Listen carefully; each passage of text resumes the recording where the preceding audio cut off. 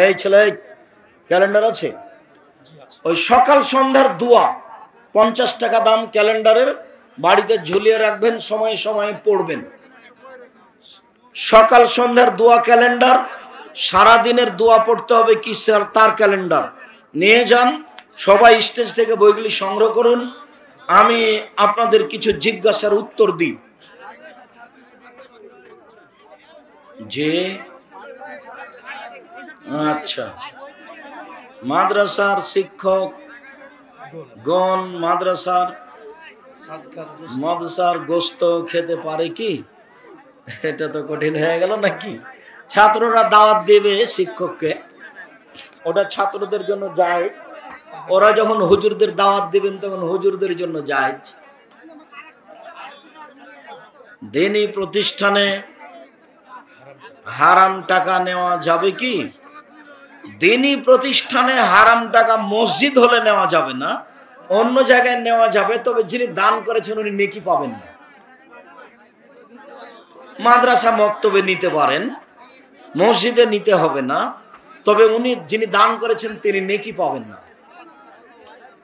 আর আমি আছি, সবাই বই নিয়ে যাবেন, বই শেষ হবে না ইনশাল্লাহ এই যে আমি দশ মিনিট আপনাদের সাথে আছি।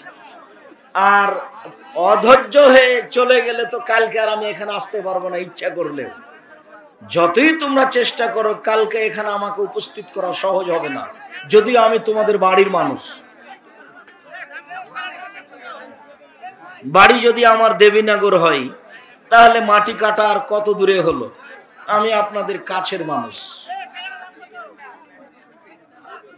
স্ত্রী স্বামীর বন্ধনে থাকবে না তাহলে মোহরের টাকা সে কি ভোগ করতে পারবে? জি না। স্ত্রী না থাকলে মোহর ফেরত দিয়ে যাবে। আর এদেশে মোহরই দেয় না। লাশকে কবরে রাখার নিয়ম কি? পাঁর দিক থেকে লাশটাকে ঢোকাতে হবে, যেদিকে পা থাকে ওদিক থেকে। তাহলে পাঁর দিক থেকে লাশটাকে ঢোকাবে আর একবারে পুরো ডান কাতে রাখবে। কবরের দেওয়ালের সাথে লাগিয়ে দিয়ে ডান কাতে রাখবে। তাসবি কি ডান হাতের শাহাদাত আঙ্গুল দ্বারা?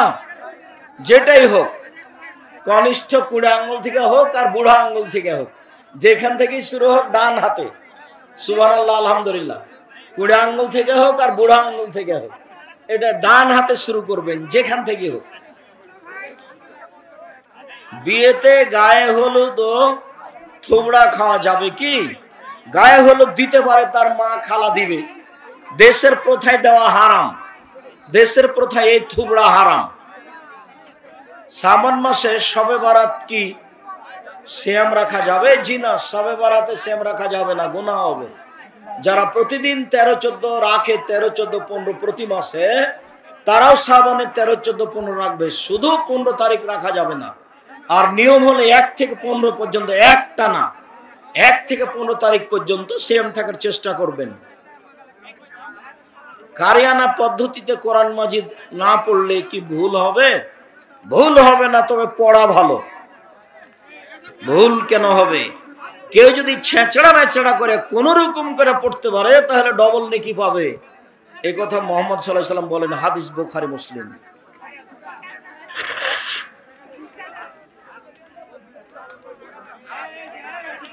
শেখ আপনি তো বলেছেন যে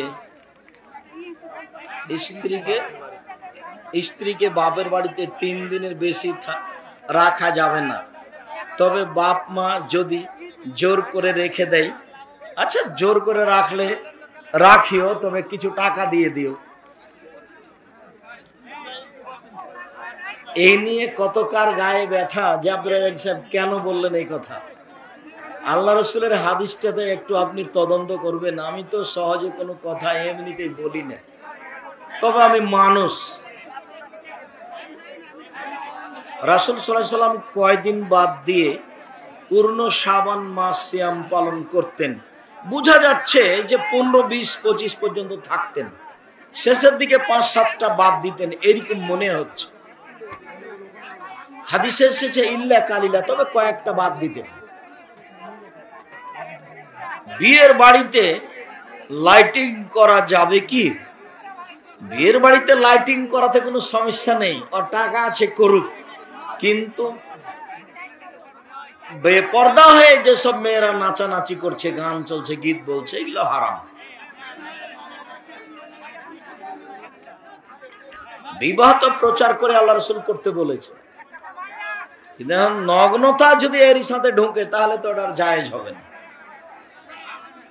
কাঁচা পেঁয়াজ খেয়ে যদি মুখ পরিষ্কার করে মসজিদে যাই যাই যাই, না কাঁচা পেঁয়াজ খাওয়া হারাম।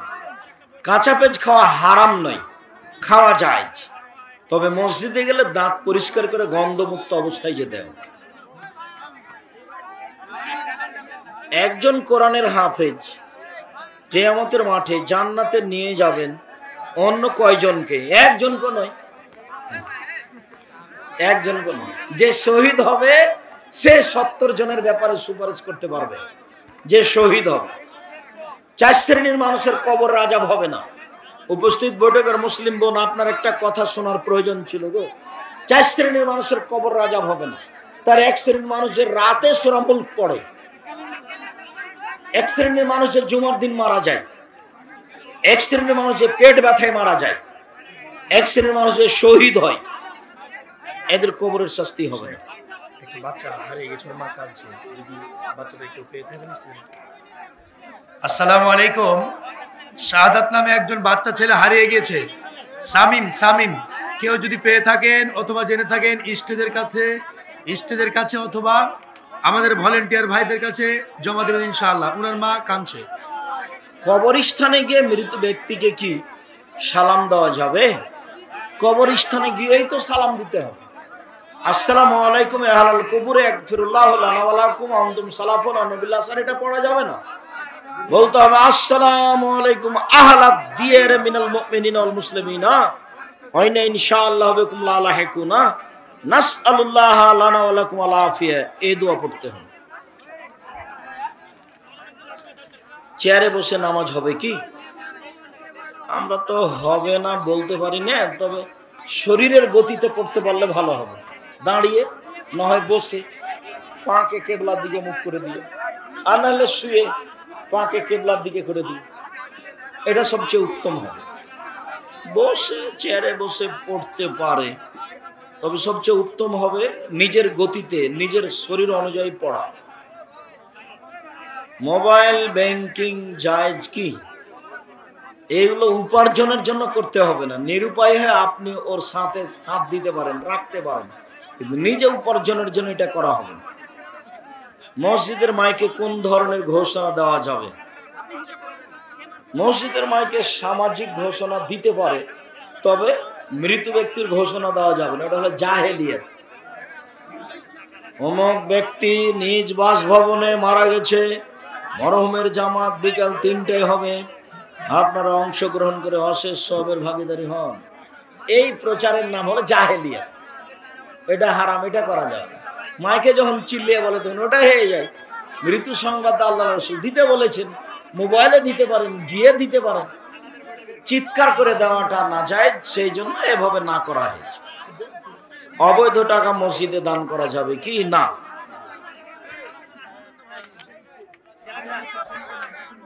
शुक्रिया जजाकुमुल्ला खैर